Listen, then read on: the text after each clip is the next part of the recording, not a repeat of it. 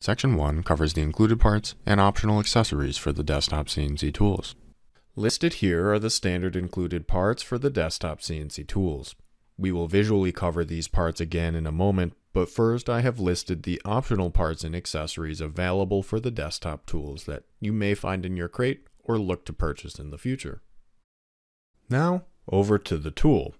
Here we have the desktop 24x18 model equipped with the T-slotted aluminum hold-down deck with spoil board installed. A high-frequency spindle cutting head can be seen on the tool, and the optional mini enclosure is installed here with the front panel removed while we cover the parts.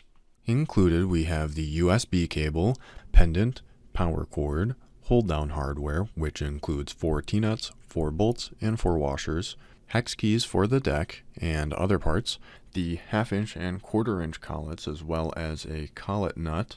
I have here a surfacing bit.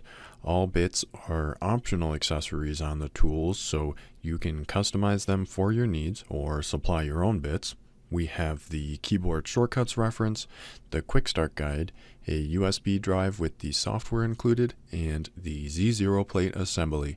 This comes with mounting holsters, which I have attached to the side of the VFD with double stick tape.